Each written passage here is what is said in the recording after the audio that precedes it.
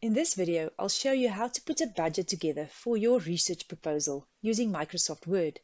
Now you can get all fancy and put a budget together in Excel and that will be fine as well. But Word just provides a simple and easy solution for, to get this task done. So first off, always start with a heading, always a good place to start, and thereafter state where the funding will come from. Funding will be applied for through the Faculty of Health Sciences Endowment Fund in this case, or maybe it will be personally financed. Then get to your budget table. You'll have a column for item, one for explanation, and one for cost. Under explanation, you just expand a little bit more as to what does this research budget item refer to. The reason why this is important is somebody reading your method section may miss the fact that you stated what the research assistant will do, and then they'll wonder by the time they get to the budget, um, where does this research assistance item come from?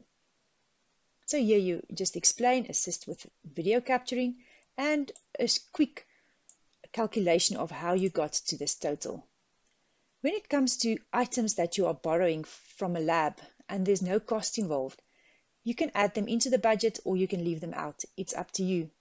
In this case, I added it in because whoever reads the proposal may think that I, by accident, omitted this budget item and knowing that I will be doing video capturing. So I decided to put it in.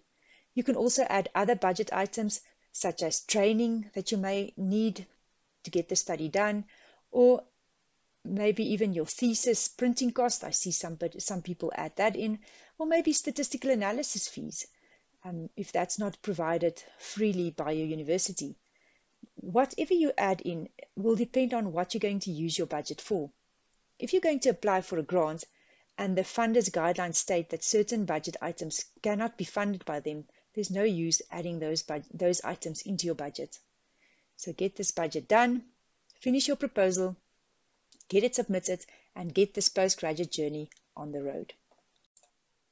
If you found this video helpful, smash the like button. For more useful tips to boost your research experience, subscribe to my channel by clicking the subscribe button below this video. And while you're at it, hit the bell so that you get notified whenever I produce a new video.